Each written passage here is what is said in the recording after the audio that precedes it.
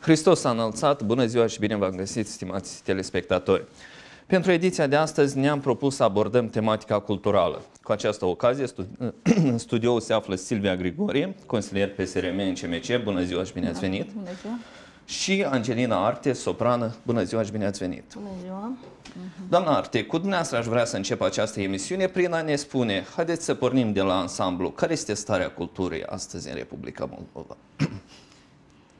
Am să spun cu o frază, este de dorit. Este de, de dorit fiindcă... De ce? De ce? Nu există politici viabile, promovate, nu există oameni, nu există interes? Ce ar fi la mijloc? Da, eu am impresia că a dispărut interesul față de cultură adevărată.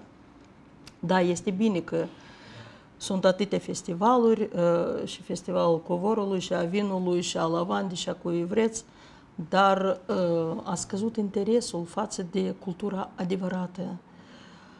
Ah, cum să vă spun?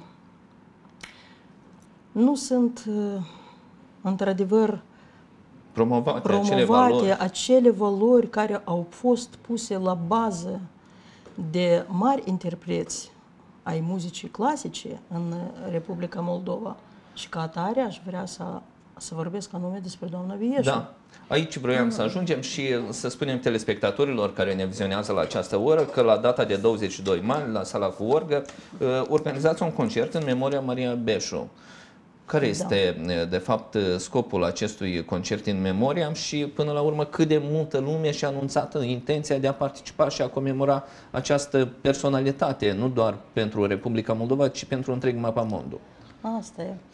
Uh, eu, personal, uh, am dorit să fac acest concert, deoarece sunt eleva doamnei Bieșu și pentru a ne aduce aminte de tot ce a făcut dumneiei pentru Republica aceasta. Ea ne-a promovat cultura în toată lumea. Deci a fost o călăuză, o, un purtător a culturii moldovenești în lume. Deoarece unde nu te-ai duce, când spui că ești de Moldova, prima ce îți spun Maria Bieșu. Deci doamna a lăsat uh, o urmă în uh, cultura moldovenească. Acest concert pentru ce este făcut? Pentru a ne aduce aminte de muzica cântată de Dumnezei, de tot ce a făcut ea în muzica academică. O să fie multe romanțe, multe arii, multe duete, anume din repertoriul doamnei Bieșu.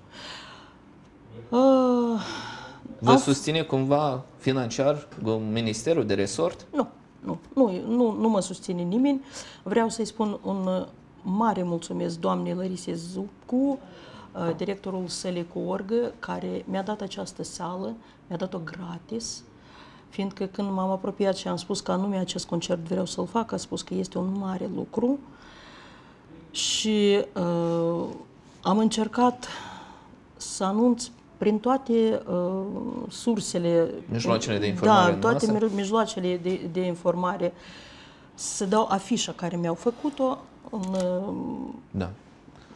să, să fie popularizat da, să fie în popularitate, da. Sper că o să vină lume, fiindcă este meritat ca să vină, să audă, să asculte, să-și aducă aminte. Eu am să vorbesc mult despre doamna Bieșu la acest concert, eu personal am să duc acest concert avem ce ne aduce aminte. Doamna Grigore, dumneavoastră în această seară sunteți în dublă ipostază. Pe de o parte în calitate de consilier, pe de altă parte în calitate de interprete. Haideți să vedem, să începem de la aspectul de consilier. Discutam ceva mai devreme până a intra în emisie. De ce? În Chișinău nu există Casa Memorială, spre exemplu, Maria Bieșu.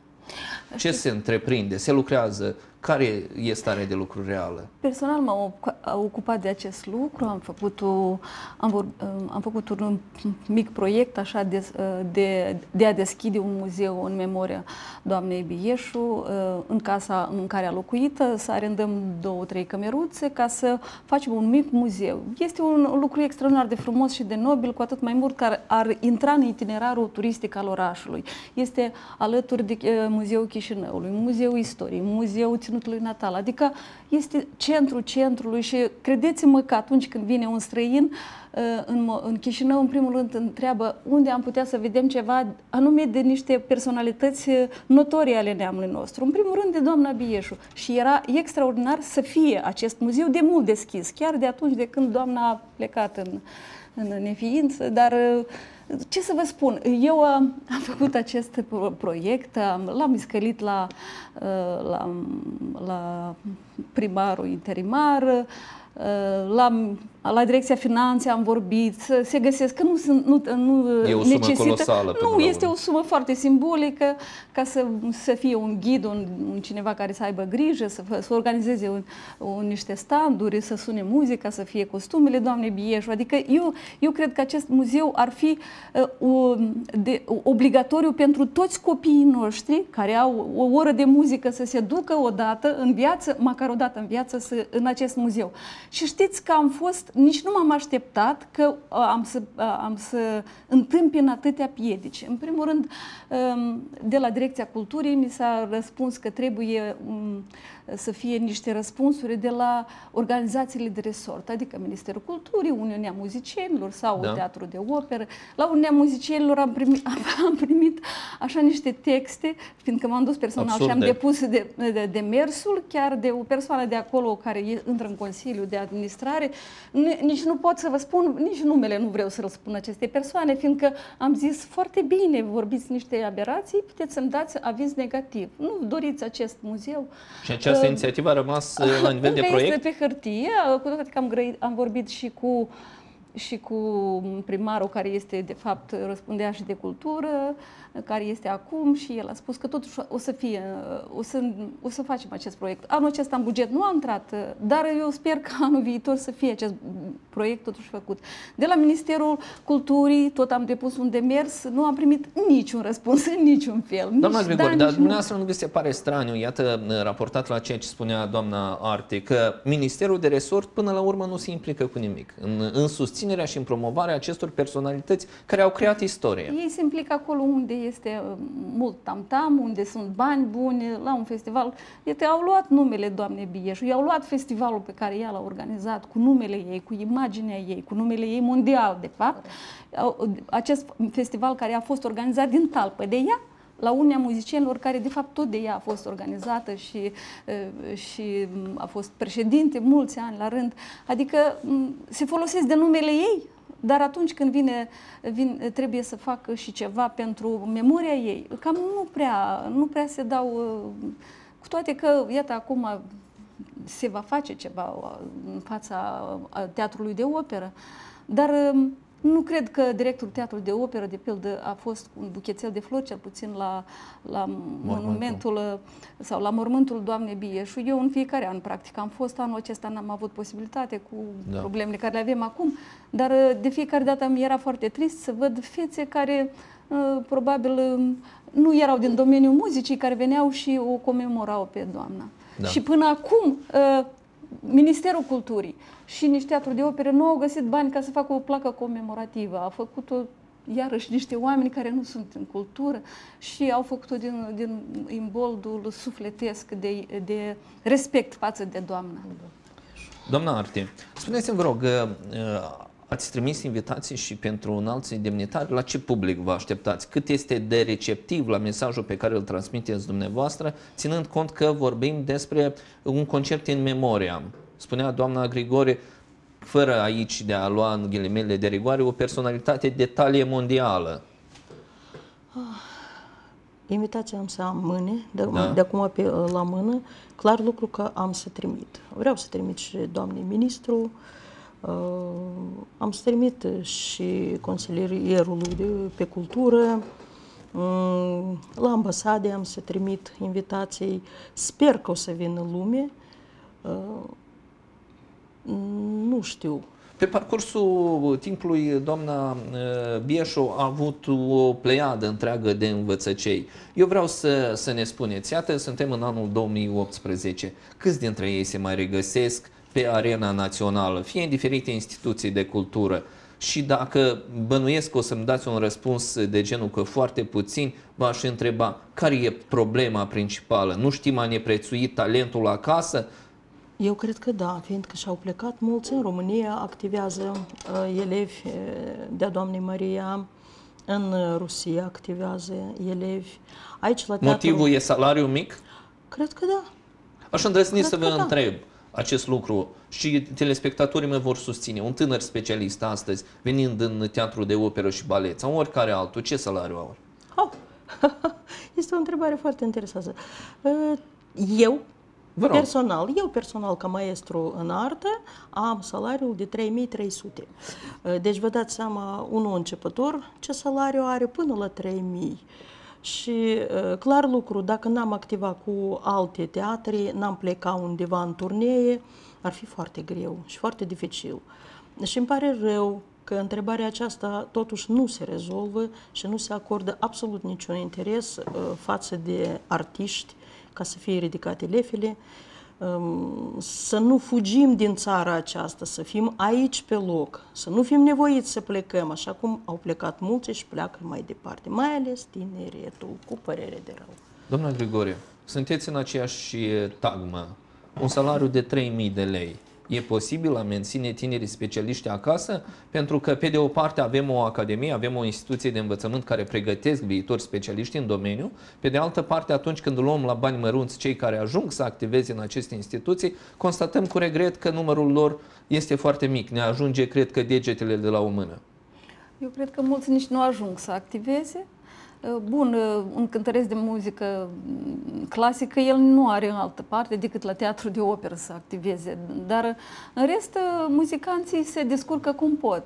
Instrumentiștii sau vocaliștii sau vocaliștii de stradă, de fapt, la noi sunt lăsați în voia sorții, așa să zic, de când suntem independenți, noi practic nu ne-am bătut capul de, aceast, de această tagmă de, de artiști, vocaliștii de stradă, folchiștii, mu- muzicienii de muzică populară, hai, mai sunt niște m, orchestre care mai înc- funcționează până astăzi, pe la Ministerul de Interne, m, carabinieri, nu știu unde, mai sunt niște colective de folclorice, mai este pe lângă Moldova concertul, un colectiv sau două dar în rest m, e jale mare. Nunțile și cu mătriile, Salvează showbiz-ul poporul. nostru moldovenesc, din păcate.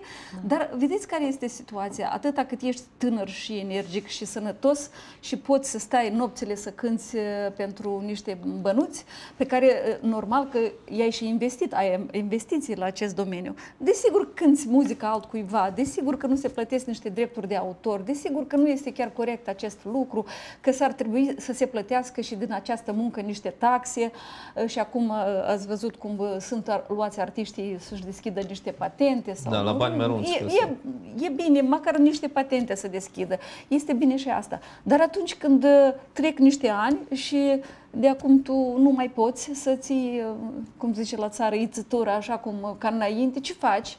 Când ți-au căzut dinții din gură, iar tu ești suflător, ce faci? Uh, cu o, o leafă care ai avut o bună de 3000, dar stai că nici 3000 nu le ai. Adică înainte erau uh, cl- cluburi, erau uh, școli muzicale foarte multe, în, apro- apro- practic în, toată, în toate satele unde era o școală medie, era și o școală muzicală. Erau, erau multe posibilități de a, de a câștiga. Astăzi um, nimeni, nimeni, nu sunt politici de stat, la nivel de stat, nu sunt politici, uh, strategii de dezvoltare a Dar de culturii. ce am bătut pasul și îl batem atât de mult Foarte pe loc? simplu, din simplu motiv că vrem ca să, să facem un popor să fie cât mai docil, cât mai agramat, cât mai incult. Și atâta noi când ne batem a- acum cu, ia, uitați-vă ce suntem needucați, ce suntem. Dar păi asta am făcut 25 de ani, am făcut să, fie, să fim inculți. Școala a decăzut, am închis uh, toate instituțiile de cultură, am închis toate școlile muzicale, am închis tot ce era bun. Uniunile de creație nu mai funcționează. Unde este Uniunea uh, muzicienilor? De Unde altă este dată. Uniunea scriitorilor de altă dată? Ce face? Unde sunt poeții noștri dragi care ieșeau și făceau concerte, făceau lecții, concert? Țineți minte, era lecția concerte la o, o, o organizație obștească Știința. O lecție, uh se ducea un poet, un scriitor și un artist, un cântăreț. Cât de frumos era! Erau uh, întâlniri de culturalizare a copiilor, a bătrânilor, a, la, la întreprinderi. Erau întâlniri foarte frumoase toată lumea știa ce face un poet, ce, uh, ce poezii noi sunt Mulțumate, doamne, revenim la discuție. Am reușit ca să luăm legătura telefonică cu Andrei Chistol, secretar de stat în domeniul culturii. Cred că persoana cea mai indicată de a-i adresa câteva întrebări despre ceea ce se întâmplă în domeniu. Alo, bună ziua, domnule Chistol! Da, bună ziua, bună ziua. Uh, sunt Vlad Madan uh, de la Accent TV și astăzi în cadrul emisiunii Reflector Analitic discutăm despre problemele din domeniul culturii și despre ceea ce se întâmplă nemijlocit în acest domeniu. Noi am vrea să aflăm din primă sursă, iată aici în studio se află doamna Silvia Grigore, consilier în CMC, interpretă și Angelina uh, Arte, soprană. La început acestei emisiuni constatam cu regret că o carență în domeniu rămân a fi salariile foarte mici. Haideți să pornim de la aspectul ăsta și să vedem. Există politici viabile pe care urmează să le întreprindă Ministerul de Resort ca starea de lucruri să revină la normal și respectiv să rămână o bună parte din specialiști aici acasă ca să ne creeze imagine? Vă rog. Da, mulțumesc mult pentru întrebare. Este o întrebare destul de importantă și care Ministerul Educației, Culturii și Cercetării s-a târnat în ultimii ani. Uh, la nivelul de 2017, noi am, uh, am făcut o evaluare a nivelului de salarizare în domeniul culturii. În special ne-am referit la uh, sectorul bibliotecilor, muzeilor, caselor de cultură și instituțiilor teatrale concertistice. Acea analiză um, a fost elaborată în sensul de a veni cu o politică nouă de salarizare pe domeniu. La moment, uh, după cum cred că cunoașteți și ați fost informat și din, uh, uh, inclusiv și din sursele mass media și de la, din partea guvernului, la moment se lucrează la o politică nouă de salarizare în domeniu bugetar. Domnule Xtol, dar cum atragem da. și tinerii specialiști?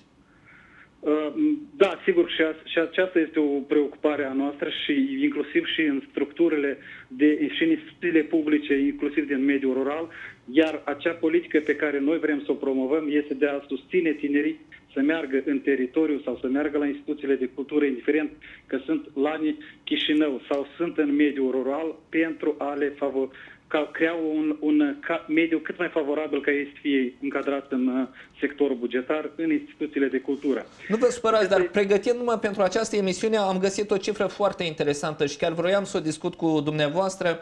În peste 500 de sate nu există casă de cultură. Cum promovăm acolo cultura? Ce facem? Cât de des ajung interpreții acolo?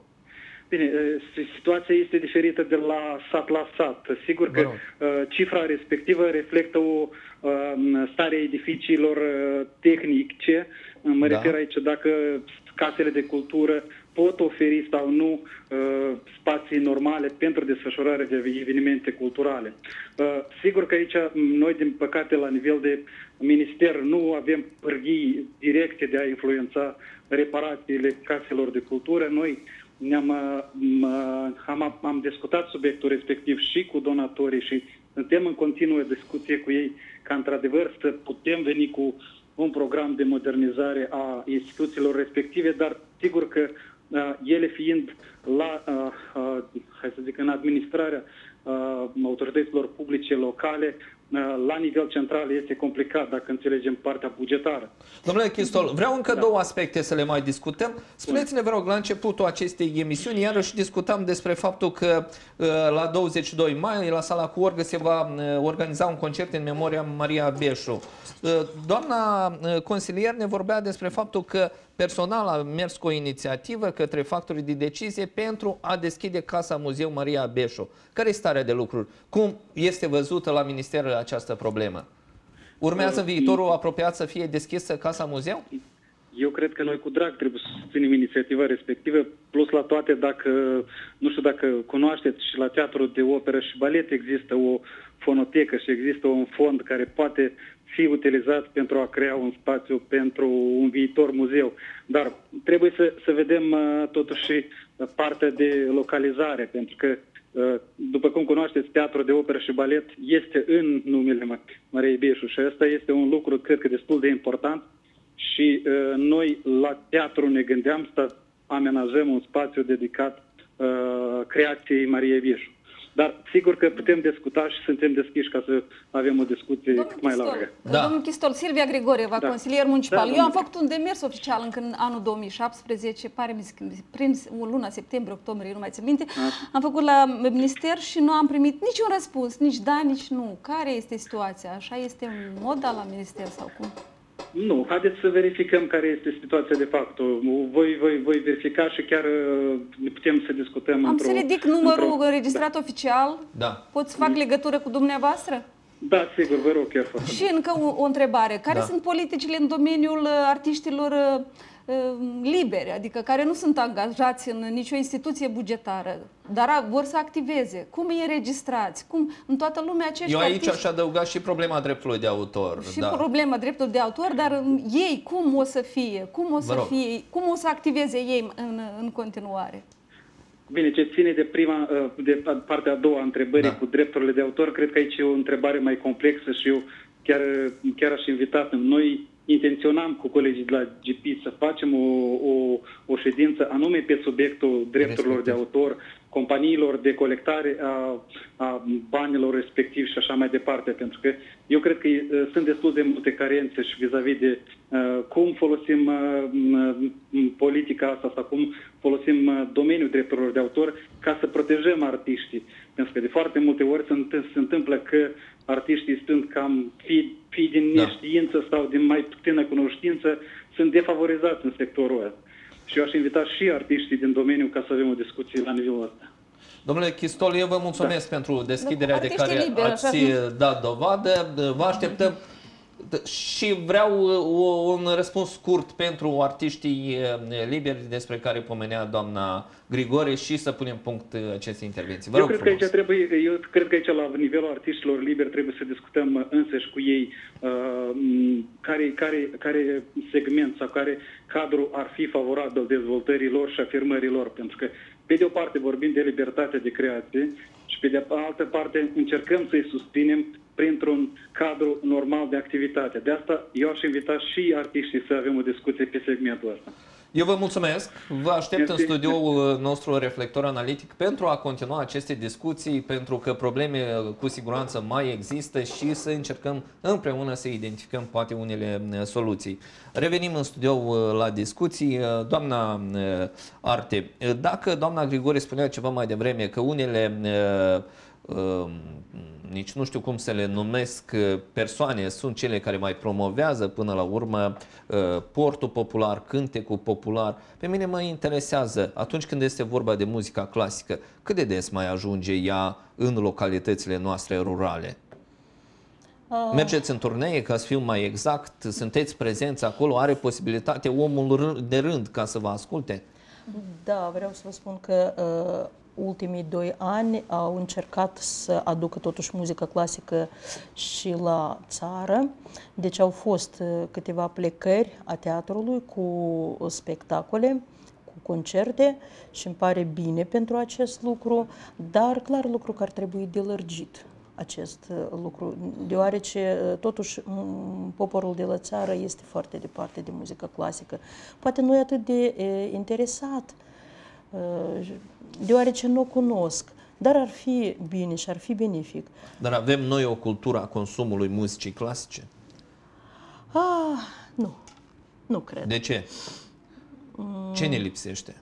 Ce ne lipsește? Sau revenim la factorul ăsta economic despre care discutam la începutul emisiunii? Și asta și chiar cultura, dezvoltarea culturii muzicale și ceea ce că într-adevăr uh, la sate uh, lipsesc aceste case de cultură unde ar fi adusă această muzică uh, și probabil școlile muzicale despre, a, despre care a vorbit doamna Silvia foarte mult înseamnă dezvoltarea culturală a tineretului.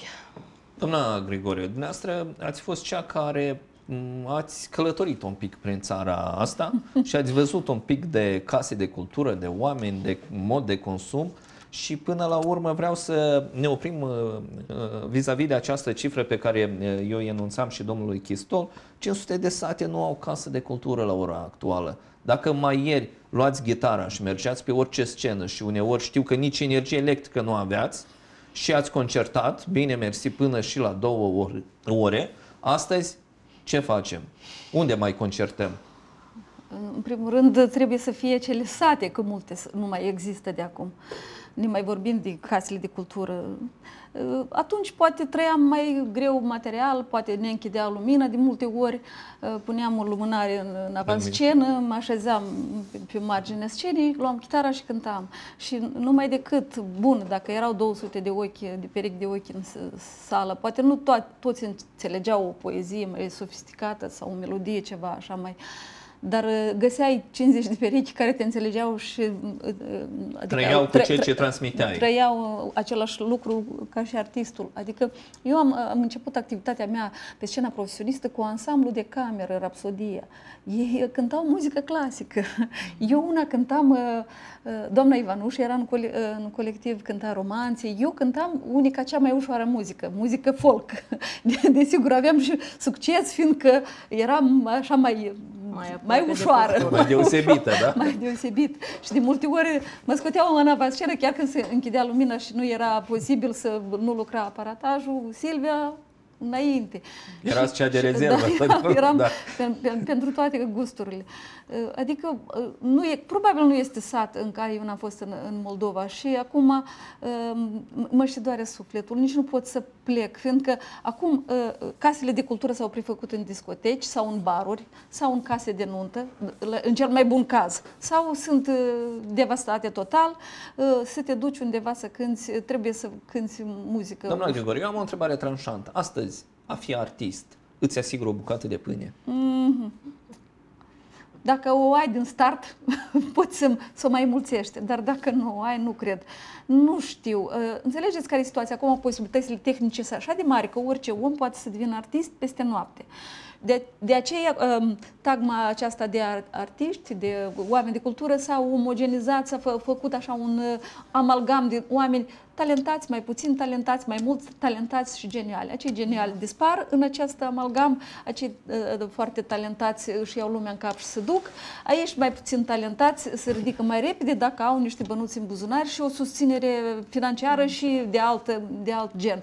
Așa că astăzi e greu să faci cultură de fapt. Astăzi se face așa un fel de showbiz moldovenesc care este de așa de o, de o, o importanță, să zic așa, locală, uh, dar și acesta trebuie în perioadele acestea de, de, nu știu, de tranziție, probabil, nu știu.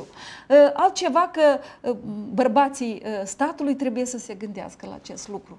Doar să vrea, să aibă dorință și voință politică, dar ei nu doresc. Doamna Arte, atunci când mergeți cu un turneu, Uh, treaba asta, nu vreau să număr banii nimănui, dar vreau să întreb, acoperă măcar niște cheltuieli pentru a întreține familia sau a uh, fi la nivel pentru că a apărea în fața unui public necesită o serie de cheltuieli, să nu ne ascundem după deget. Și în același context, doamna Grigore vorbea despre showbiz, fără a ofensa pe nimeni, dar întreb, o persoană care merge la o nuntă, la o cumătrie, a doua zi, poate fi în formă ca să evolueze pe cele mai mari scene ale țării, poate și ale, ale lumii, e propriu, e corect să vorbim despre un showbiz în sensul clasic al cuvântului? Nu. Showbizul la clasic nu are nicio atitudine. Dar dacă să vorbim despre turnee, hmm, poate un pic. Puțin, puțin îți rezolvă ceva probleme. Dar uh, condițiile sunt foarte uh, dificile în turnee. Este foarte greu, uh, fiindcă suma care ți-o plătește pentru un spectacol este cu mult mai mică decât uh, suma pe care o primește un artist de după, uh, de după hotar, să zicem așa. Fiindcă odată am avut și cazul când, uh, fiind într-un turneu, un artist autohton a fost în Spania, m-a întrebat pentru acest spectacol ce sumă primești?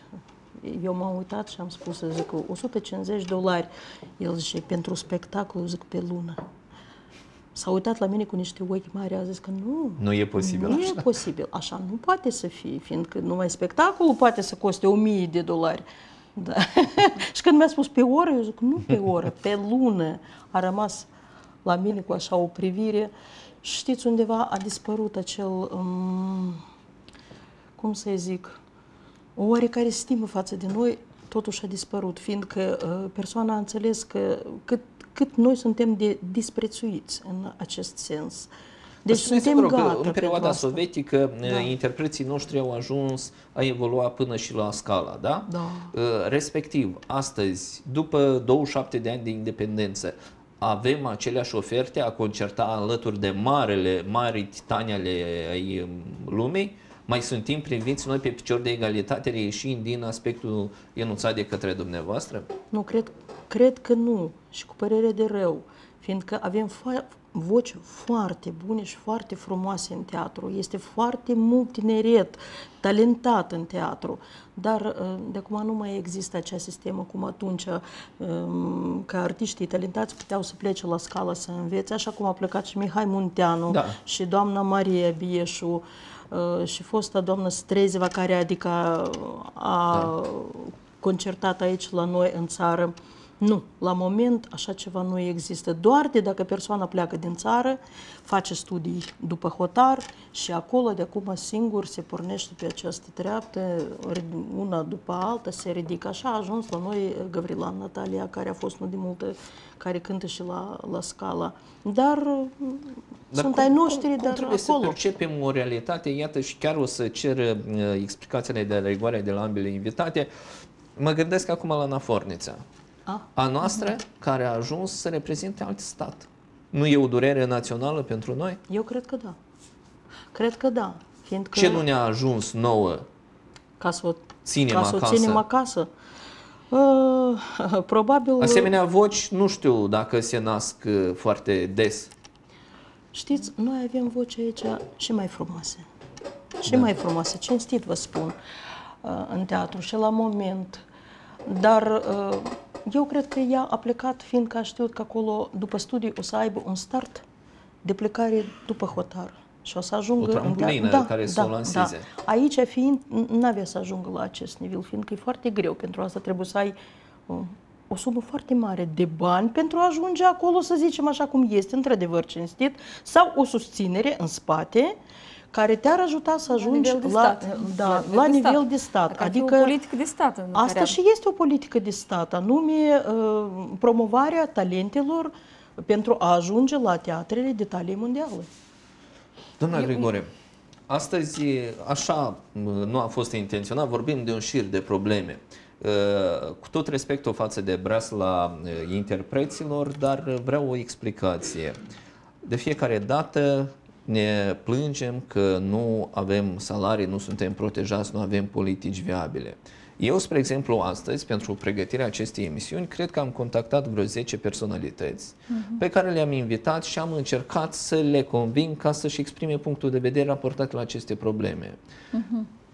Practic, toate au refuzat, invocând diferite motive, ceea ce mă induce cu uh, gândul că nici pe departe nu sunt acele argumente plauzibile și mă duce iarăși cu gândul că noi obișnuim să ne văicărăm și fără a lua o poziție fermă atunci când este cazul. De ce? Pasivitatea colegilor de breaslă.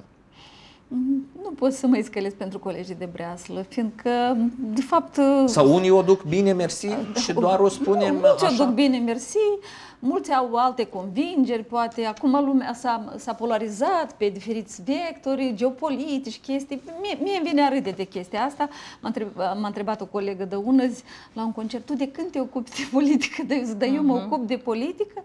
Eu nu mă ocup de politică. Eu cum am fost, așa și am rămas. Eu viziunile mele nu le-am schimbat Niciodată. De, niciodată. Eu sunt pentru omenie, pentru cultură, pentru oameni buni, pentru uh, sinceritate, pentru onestitate. Altceva că lumea este la- de multe ori lașă, de multe ori fricoasă, dar noi, de fapt, în uh, națiunea noastră este, cred că, puțin așa slabă de fire, uh, fricoasă. Hai să fim sincere, chiar și însă și simbolul nostru. Balada Miorița povestește despre asta, că noi nu ne ducem să ne batem pentru drepturile noastre, dar Să ne cerem dreptatea care ni se dar cuvine. așa, lasă-mă să te las, mai bine tac, poate cineva în locul meu.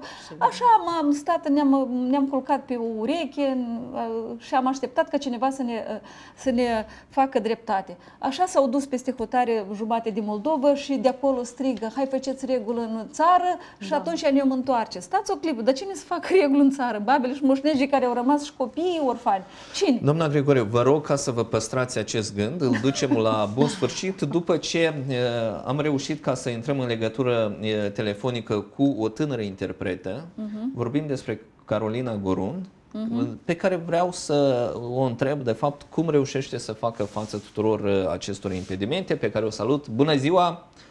Doamna Bună Gorun, ziua. sunteți uh, în legătură cu noi, sunt Vlad Madan de la Accent TV. Astăzi, în cadrul emisiunii Reflector Analitic, discutăm despre cultură și am ajuns la uh, momentul în care ne întrebăm cum rezistă astăzi în Republica Moldova un tânăr interpret. Întrebarea mea este foarte simplă, dar în același timp cred că dureroasă astăzi a fi interpret în țara noastră e, îți dă posibilitatea ca să-ți câștigi existența aici, fără a fi nevoit să pleci peste hotare? Uh, te salut, Vlad, și da. toți uh, telespectatorii care privesc această emisiune. Ca și în orice domeniu, domeniul nostru muzical este un pic uh, mai complicat, pentru că ca să te faci auzit și lumea să te cunoască, trebuie să faci piese, iar astea da, costă. Deci ca să te faci auzit trebuie să investești foarte mult în asta. Dacă nu te ajută cei dragi, părinții, familia, Dacă au atunci cumva da. trebuie da. să încerci singur să faci acest lucru. Iar uh, singur este ca să uh, cânti la diverse um, activități private și de acolo poate ceva mai câștigi ca să poți cât de cât să scoți o melodie, nu știu, o dată în an sau poate și două, nu știu, depinde cât uh, cât reușești. Spune-mi, te rog, Carolina Gorun, s-a simțit vreodată protejată de Ministerul de Resort? Ai beneficiat, nu știu, de anumite uh, facilități. ajutoare, facilități, nici nu știu cum să le numesc? Uh, din câte mi-amintesc eu, mai puțin, pentru că noi, interpreții, suntem mai mult pe cont propriu și uh, nu știu, să zic eu, instituțiile de stat poate ne ajutau doar în cazul în care ne invitau ca să cântăm. Iar ca să fiu protejată sau cumva susținută de minister sau de stat, da, e mai puțin. Dar spunem te rog, cei care se ocupă de protejarea drepturilor de autor, cât de des își aduc aminte de dumneata pentru a te invita ca să ridici niște bani? Uh, cu drepturile de autor, asta este întrebarea mea foarte dureroasă, cel puțin pentru că de câțiva ani tot uh, discut cu colegii mei la acest, uh, la acest subiect, uh, dar ca să, ca să înțeleg într-un final totuși uh, care uh, asociație este cea mai bună pentru a proteja aceste drepturi și, într-adevăr, pentru a te plăti cu ceva, pentru că tu uh, ai promovat piesa sau uh, producția muzicală, nu contează videoclip, piesă sau ai compus ceva. Și uite că uh, de câțiva ani buni, deci eu nu, nu am primit nimic de la asociația în care sunt eu. Uh, da. Nu știu, sper într-o bună zi că lucrurile se vor regla. Pentru Dar că ce trebuie să se întâmple ca să revină la normal această stare de lucruri, să fie redresată? Zic... Pentru că nu poate dura la infinit. Eu zic una și propunerea mea este una, ă, dat fiind faptul că atâta plec în Germania și colaborez cu ei, deci la ei este doar o singură uh, organizație pentru drepturile de autor. La noi sunt, uh, nu știu, cred că 5, 4 sau poate mai multe, nu știu, sunt mai multe.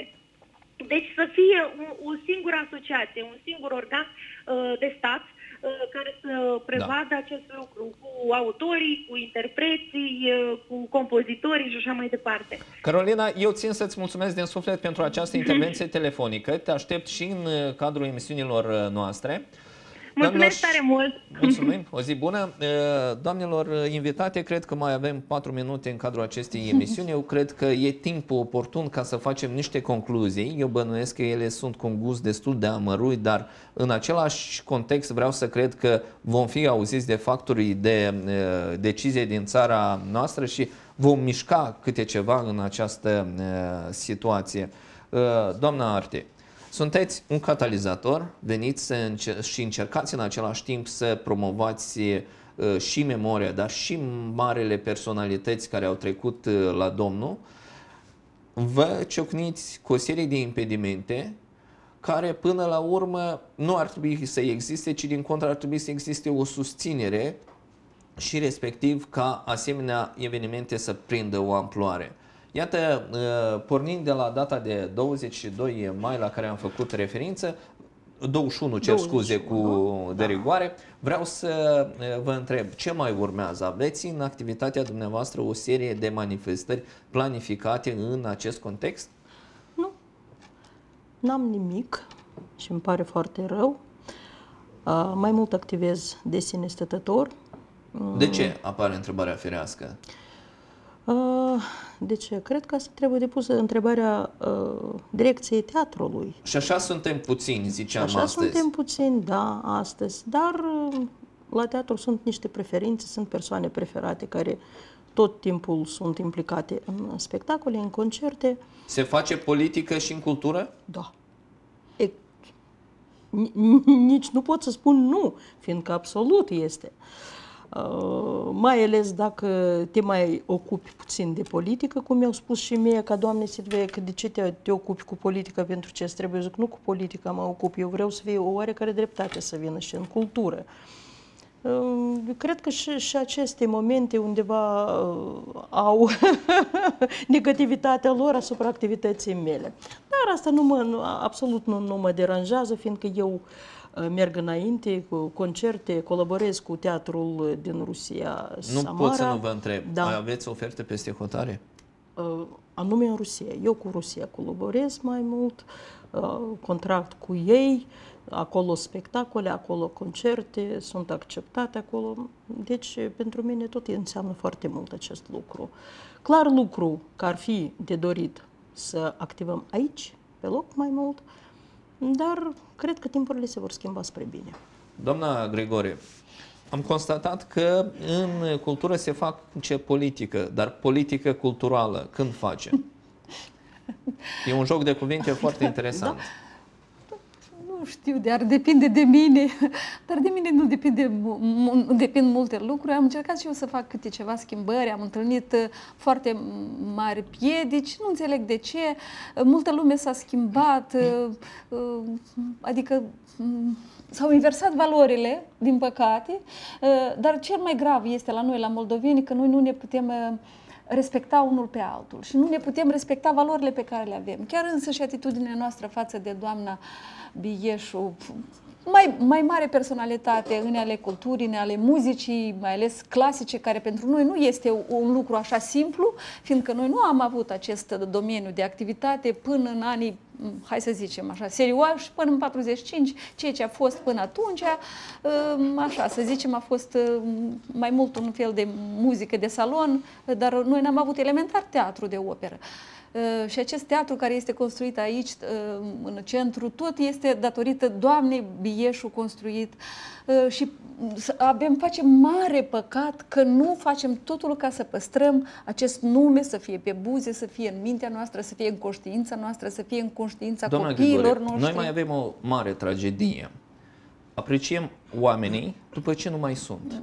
Vedeți că nici Respectiv, după ce sunt nu după, în, în acest context vreau să vă întreb și gândul mă duce volens nolens, nu știu de ce, la, la voluntier, regretatul uh, Mihai Voluntier. Uh, Uh, ajung, ajung o bună parte din ei să moară în sărăcie, să moară în uh, izolați, în, uh, nu știu, în niște condiții care nu ar trebui să existe pentru niște personalități care au făcut istorie, nu doar aici în țara noastră, ci departe.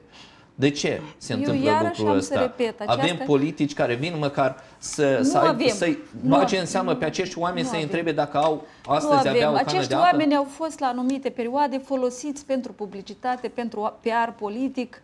Uh, aduceți-vă aminte la mormântarea doamnei Bieșu, cum sta și filat și lupul și nu știu cine acolo, tăți mândri și cu coroane și da. în prim plan și se băgau în, în televizor în, ca să arete. Uh, după aceea nu i-am prea văzut pe la cimitir cu o floricică, măcar de ziua de comemorare. Adică suntem, asta este o problemă gravă. Este un păcat al nostru, fiindcă eu cred că alte popoare au niște, au niște talente mult mai mici, da. dar își apreciază și duc, le duc cinstea. Eu când am fost în Belgia, țin minte, am văzut un, un show, 30 de ani de francofonie, a muzicii francofone în Belgia. Acolo sunt muzica flamandă și da. francofonă într-o piață au cântat cele mai mari șlagăre din ultimii 10 ani. Erau artiști de la uh, 20 de ani până la 70, uh, diferiți artiști, cele mai frumoase cântece. Pe mine m-a, m-a mirat un lucru. Toată piața, tineri, copii, adolescenți, pensionari cântau împreună cu artiștii cântecele, știau textele cântecelor. Și toată muzica era specific țării date. Nu era muzică de asta răp, șmăp, faiche, da. meiche, uh-huh. europeană, americană. Era curat șanson în stil francez. Adică o frumusețe și eu priveam și mine trecea așa rece. Fiorii. De ce pe noi nu ne iubesc așa? De ce pe mine ca și artist atâta ură vis-a-vis de persoana mea că am zis ceva care nu-i place cuiva sau vis-a-vis de altcineva că a făcut un cânte care nu i-a plăcut cuiva sau că a ieșit la un concert da. care nu i-a plăcut cuiva. Această ură eu cred că noi trebuie să, să, să scăpăm de ea, să ne întoarcem cu fața unul la altul și să cerem de la bărbații statului să ne respecte așa cum îi respectăm noi pe ei. Mulțumate, Doamne, eu cred că mesajul pe care am încercat astăzi să-l transmitem ajung la cei care uh, urmează să la ia decizii. Temă este mult da, de și uh, da. aici vroiam și să, să mai punctăm câte ceva, mai aștept și în alte uh, emisiuni pentru a continua, pentru că astăzi probabil am mers pe deasupra și am dezbătut doar cele de mai, deasupra, cele mai stringente probleme. Stimați telespectatori, eu vă zic, Hristos a înălțat, rămâneți alături de noi. Thank you.